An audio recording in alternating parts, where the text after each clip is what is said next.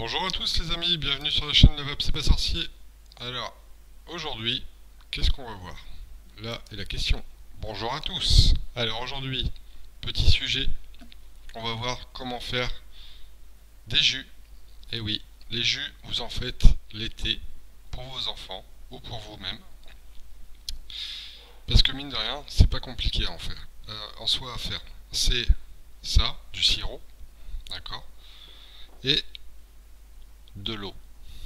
Alors, vous allez me dire, ouais, ok, d'accord. C'est quoi son truc? Eh bah ouais, parce que le fait soi-même, d'accord C'est ni plus ni moins que ça, un récipient et de l'eau. Je vous explique. Je pousse tout ça. Et là, attention, tanana. Voilà le matériel. Donc, ça, le verre, je le remplace par des flacons. Ni plus ni moins. L'eau, c'est remplacé par de la base, donc c'est du PG, du propylène glycol et de la glycérine végétale, d'accord? Donc nicotiné ou pas selon euh, ce que vous voulez. Et le sirop, d'accord? C'est remplacé tout simplement par des petits flacons d'arôme. Le matériel. Donc comme je vous ai dit, vous avez besoin donc du contenant, donc un petit flacon. Donc moi il est marron, hein, c'est euh, des flacons que vous trouverez en pharmacie. Vous en avez aussi des transparents, vous pouvez en avoir des bleus, euh, euh, voilà, ainsi de suite. Il y en a pas mal au niveau des couleurs, c'est selon vos goûts. D'accord? Donc alors, comment ça se passe? Eh bien en fait on va tout simplement faire un sirop à l'eau, mais avec des arômes, la base, et voilà. C'est ce le principe de base pour réaliser vos jus. Je vous disais, au niveau matériel, avant toute chose, moi, je vous conseille des gants en latex, d'accord? Tout simplement pourquoi? Parce que bah, c'est euh, comme quand on fait la vaisselle à la main, on a des fois des peaux où, en fait qui sont euh, sensibles et du coup euh, il faut des protections. Hein. Donc vous avez les gants MAPA pour la, vaisselle. Vous pouvez très bien les utiliser pour le faire, il n'y a aucun problème. Là c'est du gant latex, vous pouvez utiliser les gants MAPA euh, pour le faire. Et après vous pouvez utiliser des lunettes de protection. D'ailleurs c'est ce que je vous recommande pour les yeux. Moi j'utilise toujours, comme vous le savez, mes lunettes de Star. D'accord? Euh, pourquoi? Parce que tout simplement, si vous utilisez une base avec de la nicotine, comme ça, euh, la nicotine qui est dedans, en fait, euh, c'est un irritant. Et si vous avez une projection au niveau des yeux, en fait, ça va être super désagréable. C'est que ça va vous brûler et du coup, il va falloir vite rincer à l'eau pour, pour enrayer en fait le, souci. cependant, la nicotine, tant qu'elle est diluée dans de la base, elle n'est pas dangereuse en soi. D'accord? Faut arrêter de, croire qu'en fait avec euh, de la base même euh, en 12 mg euh, c'est attention aïe aïe aïe on va mourir. Non non non, vous avez tant qu'elle est diluée avec les dosages actuels des bases on n'a pas de souci à se faire. Maintenant le principe. Votre contenant. Hop là. Vous l'ouvrez. D'accord? Vous utiliserez des seringues donc vous allez avoir une seringue petite. Donc là, hop, vous voyez, ça c'est une 5 ml, 5 ml. Hop. Donc celle-ci, elle est pour mes arômes, d'accord? Et vous allez en avoir des plus grosses. Moi j'en prends une de 20 ml. Voilà. Donc ça, ça va être pour la base. L'avantage, c'est que la seringue qui est sur la petite, vous la laissez. Et la grosse, vous n'en aurez pas besoin. Pourquoi? Parce que la base, sur des seringues, en fait, vous allez avoir énormément de mal à pouvoir tirer dessus, puisque c'est quand même très visqueux, et du coup, en fait, ça va avoir du mal à rentrer dans la seringue si vous mettez euh, une aiguille. Donc, le premier, bah, c'est exactement le même processus que ça. C'est-à-dire que si vous prenez votre verre, vous mettez l'eau, vous mettez votre sirop, qu'est-ce qui se passe? Bah ça se mélange pas, déjà. Donc vous serez obligé de prendre une cuillère et de mélanger. En fait, euh, vous prenez votre verre et puis vous mélangez avec une cuillère. C'est ballot. Qu'est-ce que vous faites naturellement? Vous mettez votre sirop et après l'eau. On est d'accord Et bien là, en fait, on va faire pareil. C'est-à-dire que vous allez prendre vos arômes, d'accord? Vos arômes ou vos concentrés. Je vous explique après la différence entre les deux. Euh, et en fait, vous commencez par ça. C'est-à-dire qu'en fait, vous allez prendre votre arôme avec la petite seringue, d'accord? Avec les quantités que vous voulez, les dosages que vous voulez. Hop, vous mettez ça dans la seringue et vous remettez ça dans le flacon. Une fois que vous avez fait ça, vous prenez la grosse seringue, vous prenez votre base, d'accord? Et là, bah, j'ai dit, c'est de l'eau. Donc après, une fois que vous, avez, mis, vous avez mis votre sirop dans le verre, bah, qu'est-ce que vous faites? Vous mettez tout simplement l'eau pour diluer votre sirop. Et bah là, en fait, on va utiliser la base pour diluer les arômes. Donc en fait, on va prendre les arômes dans la grosse seringue et hop, directement dans le flacon. Ok? Voilà, une fois que ça c'est fait, malheureusement par rapport au sirop, bah faut secouer quand même. Vous refermez, comme ça, et là, vous secouez très fort. Clac, clac, clac, vous, vous secouez vraiment fort et puis euh, limite vous allez avoir mal au poignet, hein, je peux vous le dire. Parce qu'il faut secouer, secouer, secouer, secouer.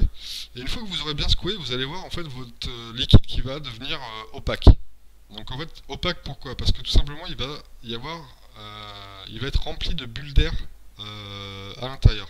Une fois que vous êtes arrivé à ce niveau-là, c'est que vous avez bien mélangé votre, votre liquide et qui et maintenant vous pouvez le mettre en repos.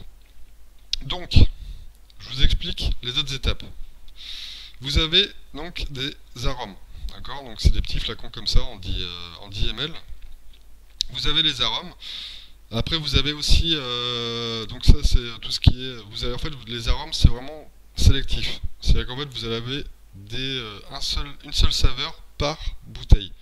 Donc là on va s'amuser en fait à prendre toutes les saveurs dans chaque bouteille et les mélanger en fait dans le flacon pour retrouver, en fait, pour créer ou pour réaliser une recette. Après, vous avez ce qu'on appelle les concentrés. Donc les concentrés, c'est ni plus ni moins que la même bouteille, sauf qu'en fait dedans, tous les mélanges sont déjà faits. D'accord? Donc ça, vous les avez en boutique. Euh, ou sur internet, hein, comme, les, comme les arômes. Euh, et en fait là, l'avantage du concentré, c'est qu'en fait comme il est déjà tous les ingrédients sont déjà mélangés, vous avez juste qu'à le prendre, le mettre dans le, flacon, vous mettez votre base euh, au dosage que vous voulez, donc selon ce que vous aimez. Euh, et après, vous n'avez plus qu'à secouer et laisser reposer, et voilà, en avant gagnant, comme on dit. Alors qu'avec des arômes, bah, là, va falloir trouver les bons dosages avec chaque arôme. Voilà, donc ça, après, une fois que vous avez ça, vous avez ce qu'on appelle aussi les additifs. Donc c'est pareil, c'est des petits flacons. Alors attention aux additifs, parce que c'est, euh, comment dire, au niveau des dosages, c'est ultra puissant. Donc, admettons, euh, si je prends, euh, là j'ai quoi? Là j'ai du sucre. J'ai fait mon liquide, voilà, hop, je le vape, hmm, manque de sucre, il est un peu, un peu fadouille. genre j'ai fait un, un, arôme gâteau aux fruits et je veux qu'il soit un peu plus sucré prenez votre, euh, votre additif. Moi, ce que je vous conseille avec les additifs, c'est d'y aller vraiment très doucement. C'est-à-dire que vous allez prendre votre bouteille, et en fait, c'est au goutte à goutte. Et vous allez y aller une goutte par une goutte, par une goutte, par une goutte. Sachant que dès que vous avez mis une goutte, vous arrêtez, vous fermez, vous secouez. Vous prenez votre atomiseur, votre euh, dripper ou, euh, ou votre cliro, vous mettez en fait un minimum de liquide dedans, et vous le goûtez. Si vraiment ça manque encore de sucre, vous rajoutez encore une, goutte. Mais allez-y vraiment une goutte par une goutte. Vous mettez une goutte, vous goûtez. Une goutte, vous goûtez. Une goutte, vous goûtez. Pourquoi? Parce que tout simplement, les, additifs, si vous y allez tout de suite, euh, admettons il vous manque du sucre et euh, vous mettez direct 5 gouttes, ça se trouve il en fallait que 4, et là votre liquide il est grosso modo foutu. Limite c'est poubelle. D'accord Là, vous reprenez, c'est comme le sirop. Hein. quand on met du sirop, bah, quand on a mis trop de, sirop et pas assez d'eau, et eh ben euh, limite on, en met un peu dans l'évier, hop, et puis on remet de l'eau pour dire de leur diluer. Là, le truc, c'est que comme c'est de l'additif, en fait, c'est juste un rajout de sucre ou euh, de fraîcheur ou euh, de, texture. on va pas s'amuser en fait à, à, jeter puis remettre de la base parce que là, si vous remettez de la base, vous diminuez la texture de votre, arôme ou de votre concentré. Donc là, en fait, c'est vraiment, euh, ça serait vraiment dommage de rater euh, un flacon euh, parce que vous avez mis une goutte de trop. Donc surtout allez-y mollo avec les additifs, vous faites une goutte par une goutte et vous verrez en fait vous allez trouver progressivement vos, vos dosages. Voilà. Nous on a pris la décision sur la chaîne de ne plus utiliser le langage américain-anglais. donc en fait DIY ça veut dire fait, euh, soi-même, et eh ben en fait, le DIY, chez nous, c'est le FSM, fait soi-même. Voilà, donc sur nos vidéos, maintenant, quand vous allez avoir, euh, on va sûrement faire des vidéos euh, spéciales pour vous montrer des recettes, par exemple, vous entendrez FSM. Si ces trois lettres-là vous plaisent, pourquoi pas le lancer dans notre monde? Arrêtez avec le DIY et lancez FSM. C'est français. Le DIY, do it yourself. D'accord? Donc ça, c'est pour les Américains et les Anglais. Le FSM, fait soi-même. Ça, c'est pour nous, Français. Personnellement, avec Ozzy One, on a longuement réfléchi sur, euh, sur, euh, sur ça. On, s'est dit, est-ce qu'on garde DIY et puis euh, voilà, on fait comme tout le monde ou, ou est-ce qu'on on, on, vulgarise le langage de la VAP et en fait on lance vraiment un langage français. Donc on a pris la décision vraiment d'utiliser un langage français. Donc maintenant ce sera du FSM. Ce sera du FSM. Voilà. Donc une fois que votre FSM il est fait, qu'est-ce qu'on en fait? Vous avez secoué, hop, il est plein de bulles, c'est nickel. Et là, en fait, vous allez avoir un temps de, euh, de repos. Donc le repos, bah, c'est comme le vin comme le vin ou euh, par exemple quand vous faites une pâte à crêpes. Une pâte à crêpes souvent on la fait, hop, on la mélange, qu'est-ce qu'on fait? Hop, on la claque au frigo et on la laisse reposer. Et bien avec le FSM c'est pareil, on va laisser reposer en fait la, base avec les arômes. D'accord? Donc la base et les arômes. Tout simplement pour que vos arômes aient bien le temps de se diffuser en fait dans, la base, de bien se libérer au niveau des, euh, des molécules et pouvoir en fait être uniforme au niveau euh, de, la saveur. Sachant que les temps de repos en fait diffèrent selon en fait les, goûts qu'on va utiliser. D'accord? Tout ce qui est menthe, ce sont des arômes qui sont très violents, très forts. Et là en fait limite euh, vous, vous, mélangez, il y en a certains qui sont tellement forts qu'en fait vous pouvez les vaper mais aussitôt. Après vous allez avoir tout ce qui est euh, monoarôme en fruits. D'accord? Donc le fruit, c'est euh, vous allez en fait faire votre, euh, votre mélange et là vous allez le laisser reposer pendant une semaine voire 15 jours. Après vous allez avoir tout ce qui est euh, à base de crème fouettée, donc au niveau des, des mélanges. Donc l'inconvénient de la crème fouettée, c'est que ça a besoin de pas mal de repos pour vraiment bien se diffuser et de bien se libérer en fait dans, dans la base.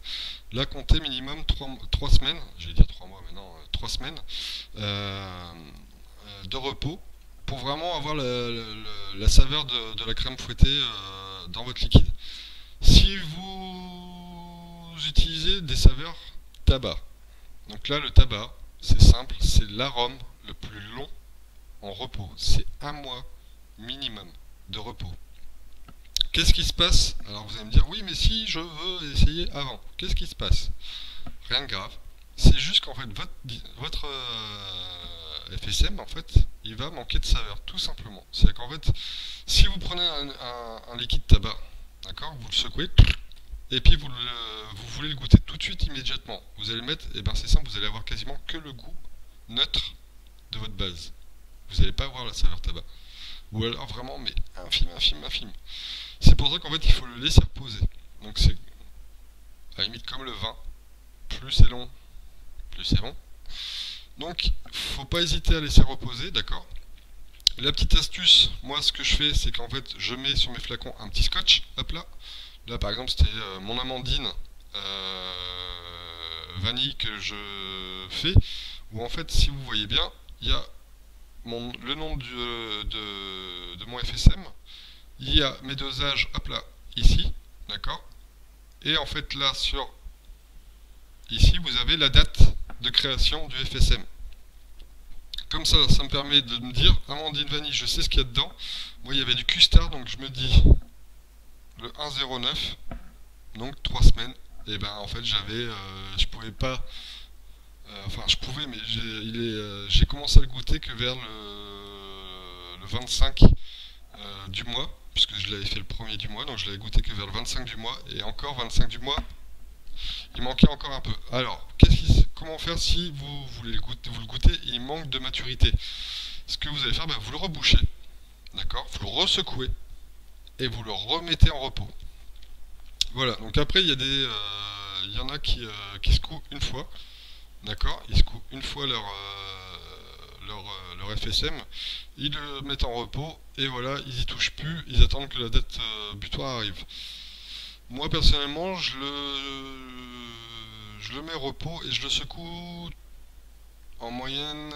j'essaie tous les jours, si je peux pas vraiment tous les deux jours, j'essaie de secouer mes, mes FSM pour, pour vraiment bien diffuser les arômes dans, la base. Pourquoi? Bah Parce qu'en fait ça va faire le même principe que ça. C'est que.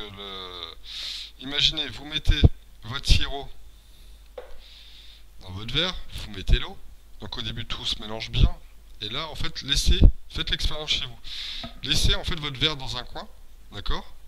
Et euh, vous allez voir ce que ça va faire, c'est que votre euh, sirop, il va remonter. Et en fait, il va, en fait, le, mélange va se défaire. Euh, et en fait, vous allez devoir remélanger pour pouvoir le boire. Parce que si vous le buvez et que le, bah, sirop il est en haut, qu'est-ce que ça va faire? Vous allez goûter, bah, vous allez boire du sirop au début. Et bien là, en fait, vous allez avoir pareil. C'est-à-dire qu'en fait, sur le FSM, vous allez avoir, si vous ne le mélangez pas, vous, allez au début avoir des, euh, arômes très forts, d'accord? Donc euh, un rendu de saveur très fort. Et plus vous allez aller au fond de la bouteille, plus les arômes, enfin le rendu de saveur va être minime. Vous allez en perdre.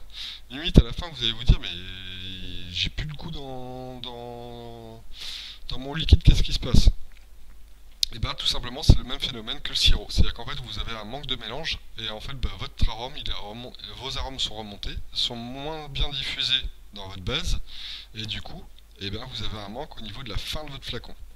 Voilà. Quoi vous dire de plus? Bah, il n'y a plus qu'à. Euh, si euh, vous voulez démarrer euh, et que vous voulez pas, enfin que vous voulez pas, ou vous, avez peur de pas savoir ou peur d'essayer de mélanger plusieurs arômes pour trouver vos recettes, vous vous achetez des concentrés directs, d'accord? C'est des petits flacons, vous allez voir, vous les dosez selon ce qui est préconisé, donc c'est 10%, 15% ou 20%. Euh, donc admettons si je vais vous faire un calcul vite fait, si vous voulez faire 10 bah, ml, admettons, un petit flacon comme ça, d'accord, de liquide prêt à vaper, euh, bah, vous, allez mettre 10%, ça fait 1 ml, 15%, 1,5 ml, 20%, 2 ml. Une fois que vous avez mis, admettons, vos 20%, donc 2 ml, qu'est-ce qu'il vous reste à mettre? 8 ml de base. Et vous avez vos 10 ml finis. D'accord? L'avantage en plus donc, du FSM, c'est que, vous voyez, là, moi, c'est des bases en 50 propylène 50 glycérine végétale. Vous pouvez, pareil, si vous avez une intolérance euh, au propylène glycol, vous pouvez diminuer le propylène glycol et augmenter votre glycérine végétale. Euh, sachant qu'en plus dans les arômes, euh, vous avez la majorité des arômes qui se vendent en boutique ou, euh, sur internet sont composés de propylène glycol. Donc faites bien attention à ça. Si vous avez une intolérance, soit vous prenez du 100% glycérine végétale et le fait de mettre des arômes, bah, vous allez arriver, admettons si vous mettez 20% de d'arômes, donc de, de, concentré ou d'arômes, vous allez arriver à un dosage en fait de 10%, de 10, 10 ici de propylène glycol et 90 de glycérine végétale. D'accord?